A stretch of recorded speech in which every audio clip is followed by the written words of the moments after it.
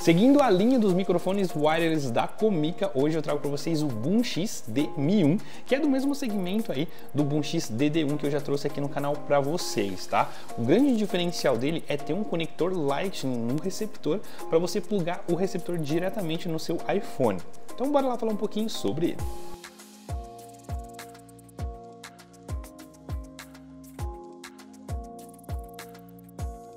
Se você produz conteúdo com o seu iPhone e quer adquirir um microfone externo de qualidade, o Boom X Mi 1 é uma ótima opção para você. Primeiro porque ele tem a praticidade de ter o receptor conectado direto com o celular, então se você filma com a mão ou até mesmo num gimbal, você vai tirar muito proveito desse sistema, tá?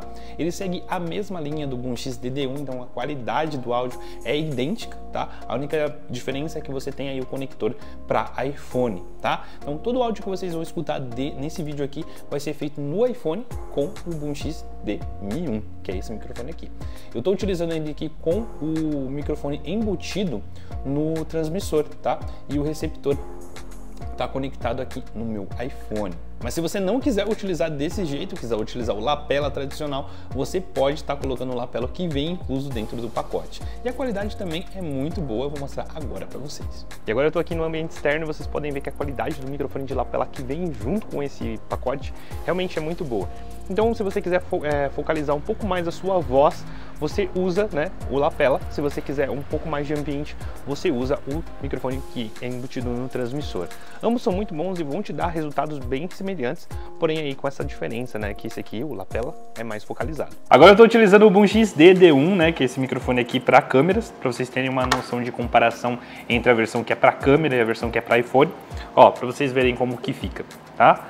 Fica assim no seu iPhone, você pode estar utilizando no seu iPhone assim, com gaiola, vocês podem estar utilizando no gimbal, vai ficar bem slim, né? bem, bem bacaninha de usar. Outra coisa que é interessante de falar é que todo esse sistema Boom XD, né, ele tem a versão single e a versão dupla. Então, se você trabalha aí com dinâmicas é, que envolvem duas pessoas, na né, entrevista, etc., você pode estar adquirindo a versão dupla. E para parear é bem simples também, é só ligar eles, eles não têm dificuldade para parear, né? Até então eu não tive nenhum problema com esse sistema aqui quanto a pareamento, né? Não tem nenhum truque, basta ligar eles que eles já pareiam certinho, tá? Aí aqui, ó, vocês podem ver que tem o canal A e o canal B, e aí você, né, tendo dois microfones, né, dois transmissores, vocês podem usar, tá bom? É isso. A carga do transmissor, né, vai até 5 horas, então você tem 5 horas aí para trabalhar com esse sistema. E se você quer adquirir o seu, já sabe, é só entrar no nosso site.